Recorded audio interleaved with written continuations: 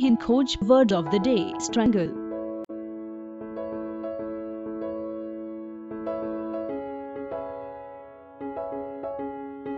struggle का हिंदी में मतलब रोकना होता है। स्ट्रगल वर्ब या क्रिया के रूप में